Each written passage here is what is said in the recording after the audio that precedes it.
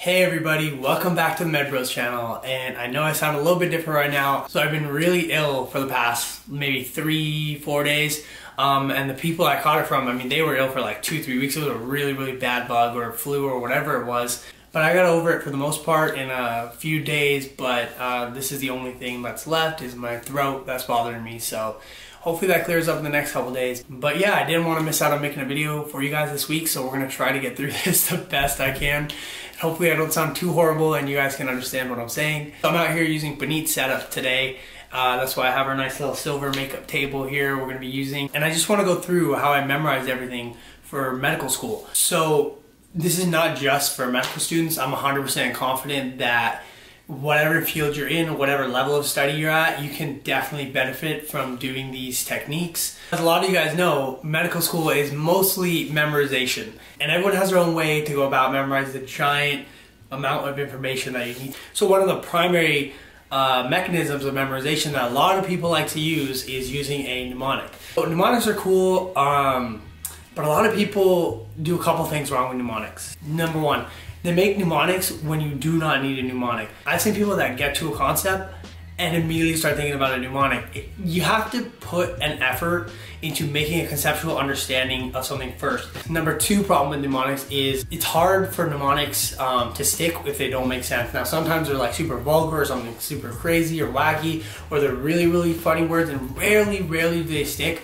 Um, one that comes to mind is meatloaf. That one has always stuck for me. Those are the your oh man. Those are the muscles of the thumb that are um, innervated by median nerve, so meat, median um, nerve, and then loaf is the lumbricals, opponens, abductor, flexor, like that's stuck in my head. It's very rare for mnemonic that's just totally random, like meatloaf.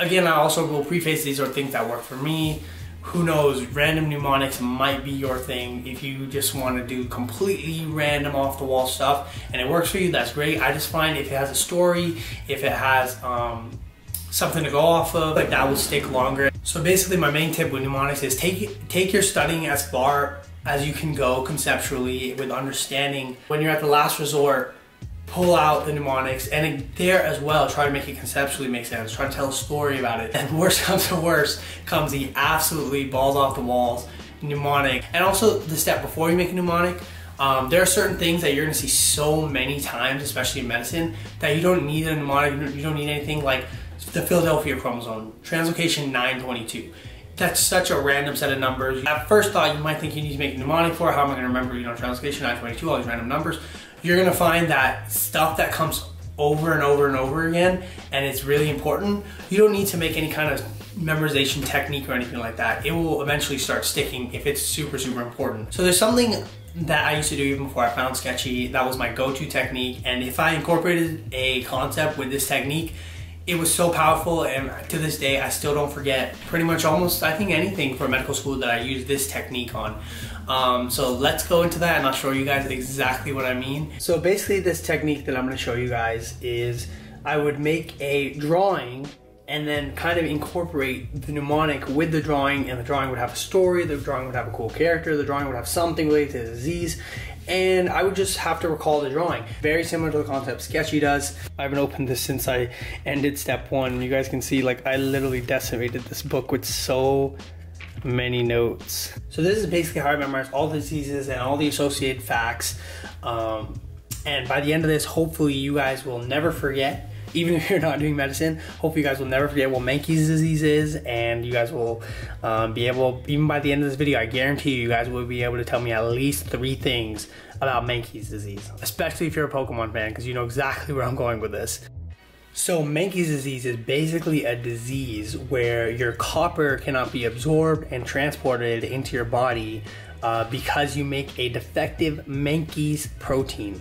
Uh, specifically, the messed up part um, is located on gene ATP7A. When this messes up is you get decreased activity of an enzyme called lysyl oxidase because some enzymes need uh, certain cofactors like copper to work. So in this disease, you can't absorb your copper, your lysyl oxidase messed up. Your lysyl oxidase is responsible for uh, making up collagen and we all know collagen can you know contribute to skin and hair. So people in Menkes as you can guess could ha have kind of brittle kinky hair. Um, and then without copper, you also have a bunch of other problems like growth retardation and you know weakness in your muscles, and we call that hypotonia. So how do we find a way to effectively memorize all the stuff that I just said and be able to recall it on an exam uh, really quickly and not run through giant mnemonics and this and that. And I will say the only downside of this technique is you have to come up with something that's catchy. That might take time. You might have to make a drawing. That might take time. Um, but the investment for me, honestly, guys, has been totally worth it. And it doesn't take that long to put things together. So number one, I would only do this for things that something glaringly sticks out at you as being a good mnemonic, like a Mankey disease. Like, come on, guys, if you guys know what the Pokemon Mankey is, you, you know you got to mnemonic mnemonicize this. So as you guys can see, I created this kind of story with this Mankey. Kind of got that brittle hair going on. I accidentally drew with him with his arms up earlier, and I had to erase that and put his arms down, kind of show him hypotonic, kind of weak. I kind of make these constant symbols that represent the same thing in all my pictures. So for me, neurodegeneration, I just started making this kind of like star thing on his head that you guys can see there. So right next to him, you guys can see here that I put this kind of like measuring stick thing it's supposed to be, and I guess I marked him lower. That just told me that, oh, he's got some growth retardation. He's like lower on the height level. X and recessive usually affects boys, so I made it a boy Mankey. So you guys can see if you can figure how I did that. If you don't like my immature way of doing it, then you guys can uh, figure out your own way. For the recessive part, just remember he's a Mankey. He's not evolved. He's still he's still recessive. It's specifically the mutated ATP7A. So when you get to start when you start seeing all these weird stuff start happening, you got to be you got to start thinking out of the box. Start got to start being creative. You got to start making a story around your character to memorize all these little side facts. So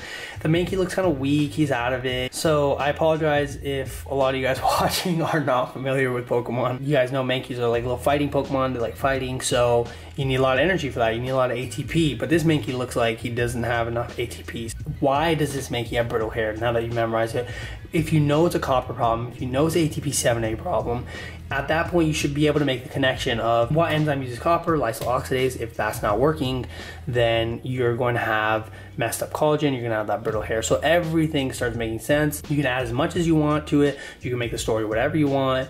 Um, I just find this technique is so powerful. So if you're sitting there on a multiple choice exam and a child is described as having brittle hair and he's weak and he's a boy, and the question asks you what gene is messed up and there's a bunch of choices. Then what should instantly blast in your head is a weak little Mankey and what was he missing? You lacking ATP so look for your anti-choice that says ATP7A and you got it. That's how I pretty much did um, majority, I would say a good majority of how I memorized everything for this exam, and it works so effectively. I was getting through questions with, I sometimes I would get um, in my practice rounds. I didn't take as I took it a little slower on my actual thing, but on my practice rounds I would have like 20 minutes left sometimes. So I hope that makes sense, and let me know if it works for you. And also post your cool pictures somewhere. I don't know, tag me on Instagram or something. Uh, if you guys come up with some cool stuff, I'd love to see it.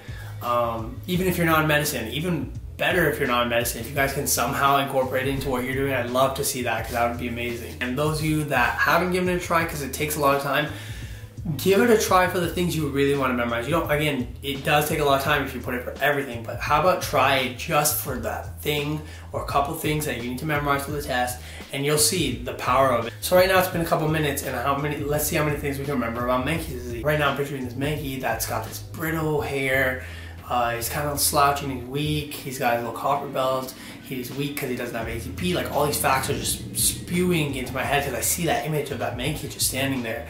And then from there I can tell you everything about disease. ATP7 is a gene that's messed up and that messes up the enzyme lysyl oxidase because there's no copper being absorbed, which gives you that brittle skin, uh, which makes you weak, which gives you neurodegeneration um, and growth retardation because he was short next to that stick. So all that stuff, if you guys can memorize that and you guys can recall it right now, that's all medicine is. And you just have to do that picture by picture by picture by picture. And there's some things, like I said in the beginning of the video, you can use mnemonics, you can use raw memorize, and most importantly, try to conceptualize everything before you go to these techniques.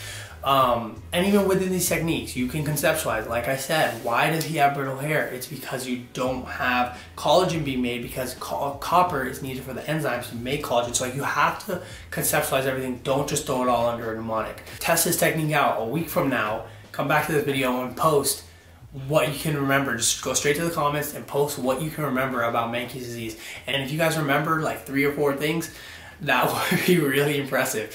You guys can just explain what what the disease is about and what it looks like.